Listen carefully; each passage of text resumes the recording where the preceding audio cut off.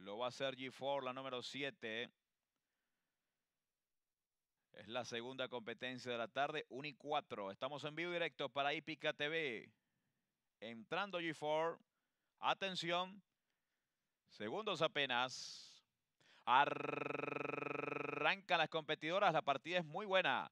Viene rápidamente por la parte interior de la cancha Ben Masbel, la número uno a tomar el primer lugar, ataca por la parte central Empty House, la número dos se acomoda en el segundo, en el tercero viene apareciendo Cómica, en el cuarto por la parte central de la cancha aparece Include Goal, en el quinto por dentro Shuffle Gat, más atrás aparece Missing Maggie, se quedó una de las favoritas G4 en el último lugar a unos 12 cuerpos del primer puesto.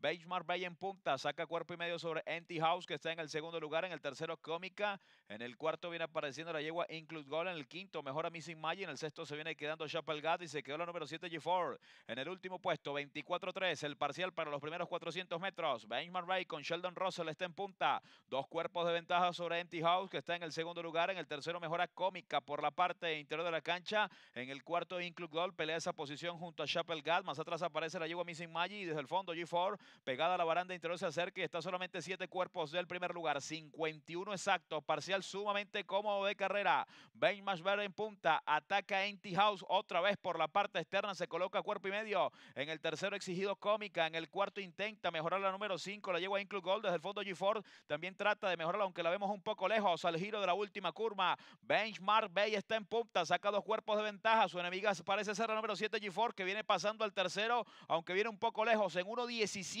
parcial sumamente cómodo de carrera. Bateman Verde está adelante. Ataca G4 desde el tercer puesto cuando ingresan ya a la recta final de Laura El Pardo. Dominando Bateman Verde. Ataca G4 por la parte central de la cancha. Está a tres cuerpos, pero se escapa la número uno, la pupila de Michael Gorham con Sheldon Russell. Trae tres cuerpos para el segundo. Cae G4, pero muy tarde. Les va a ganar de punta a punta la número uno. La dejaron correr sola adelante y en parciales cómodo. Fácil, les ganó el uno Bateman Verde. Segundo para House, tercero G4, cuarto allí en la raya para número 3 Chapel Gap.